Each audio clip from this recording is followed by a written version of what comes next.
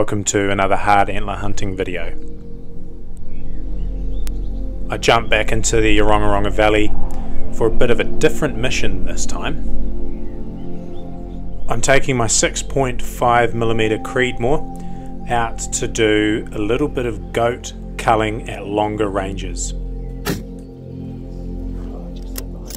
After a good amount of range work, this thing was dialed in quarter MOA using the 147 ELD match, travelling at 2700 feet per second. The only reason this rifle wouldn't shoot well now was me.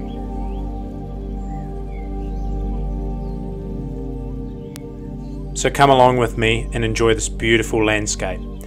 Make sure you stick around for the tech tip of the trip as well.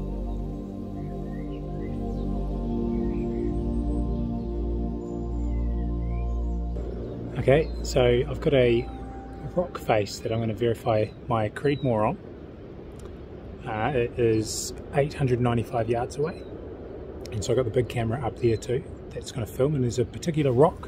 It's probably only about 8 inches in diameter. Um, and we're going to see if we can verify this load with, we've done 24.6 MOA of elevation and the scope's pretty much run out. I could feel it starting to get to the end, so I'd say we'd have 25 MOA to be it. Uh, so it being such a heavy rifle, we should be able to verify a shot from that far by um, doing our own visuals, but we'll get the camera just so you can see it as well. Um, so yeah, get into it. Also allowing for 10 inches of wind drift at that distance.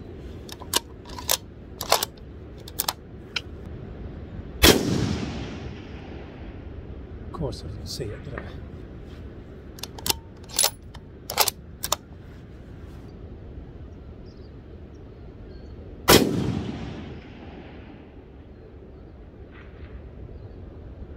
Oh, I think that's two shots on the rock.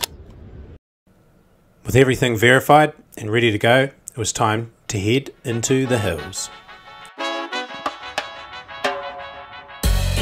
I swing the hammock, set up a camp in hopes that the next morning will be a nice windstill morning for some of those wonderful long range shots.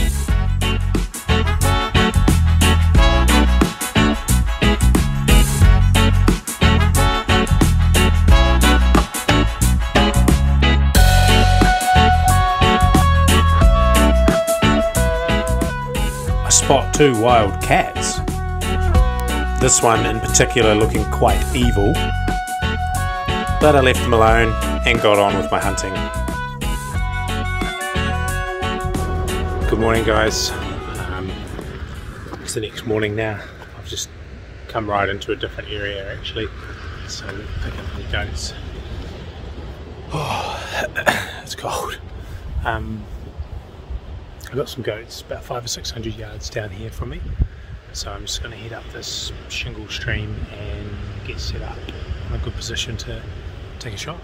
Alright, there's a few goats starting around down in here at about 480.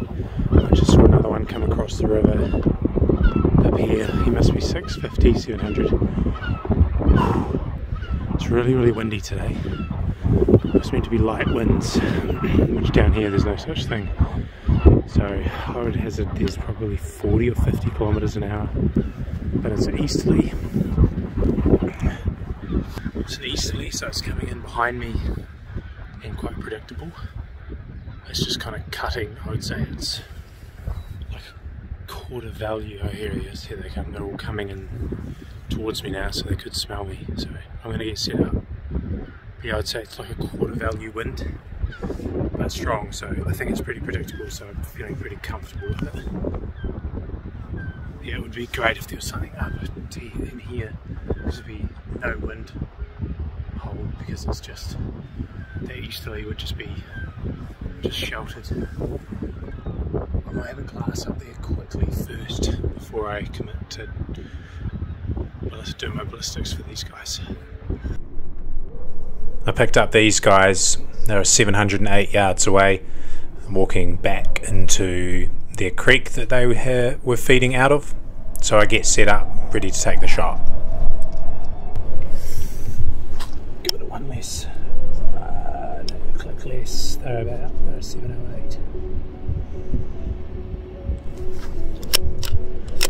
17 inches wind drift. It's going to be a hard shot. Plus the walking, which is not great.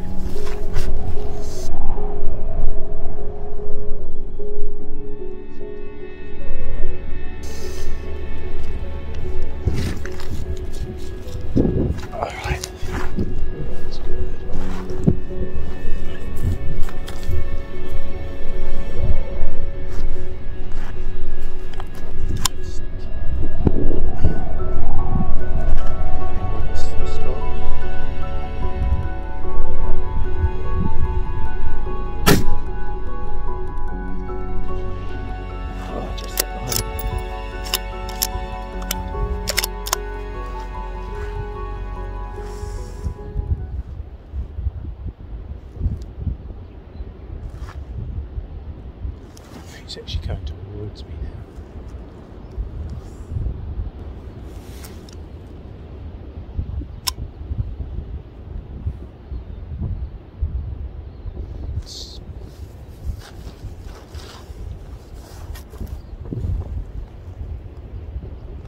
Alright, I have to check the footage.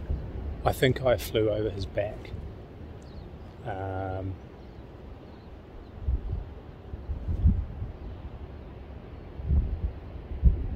doesn't surprise me much. The wind hold was, but I just went over his back and hit a rock behind him. Unless I went through it and then hit a rock, but I'll going to have a look for blood. Go and have a look. I'm not feeling too confident. About half an hour later, this guy pops out of the bush in the same stream area and presents himself really nicely for a side on shot.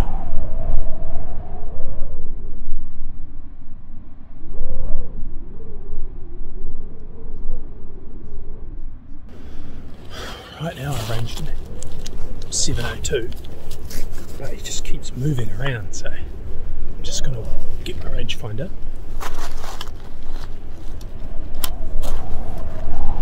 I'm just going to wait. Can't find him now. There he is. He's come quite a bit closer.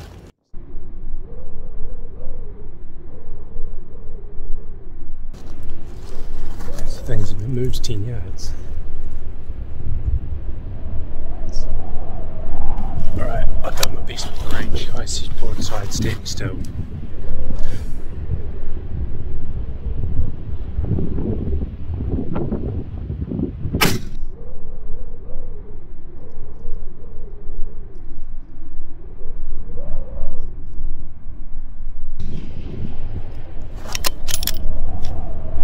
Come on, gun.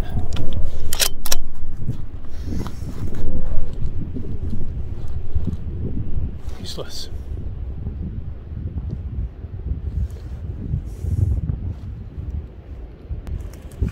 Zero that down again.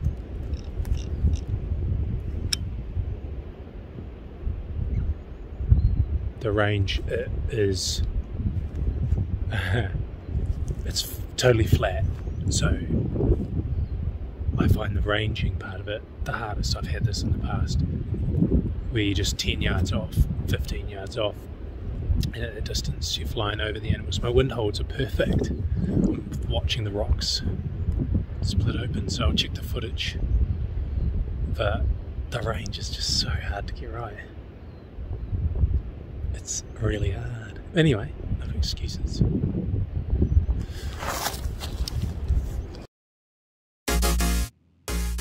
Welcome to the tech tip of the trip. Well, after checking the footage, I confirmed that both of these shots were clean misses, and I could not figure out why. My wind holds were good. When I had a look, there was no blood, nothing. Well, the problem started here, back at camp. My tech tip of the trip is double check your ballistics app. I fiddled around with my 284 Winchester ballistics in the app the night before and forgot to change it back to the Creedmoor. I know, it's incredibly rookie. So rookie. That one hurt. Um, so the tech tip of the trip comes out of a bit of pain this time. Um, a lesson learned the hard way. I've been dialing for years and now finally I'm going to put a double check system in place where I'm actually in my workshop and I'm going to make up a very basic double check MOA chart so that I can just look on my stock where I'll laminate it to and when I'm going out at those distances I know that it's a double checker to my ballistics app. If it's a few MOA out or whatever I might be, oh I'm in the wrong rifle. So there you go guys, I hope you enjoyed that hunt. The outcome wasn't what I wanted it to be, but I'll keep at it um, and I'll see you on the next video. Catch ya!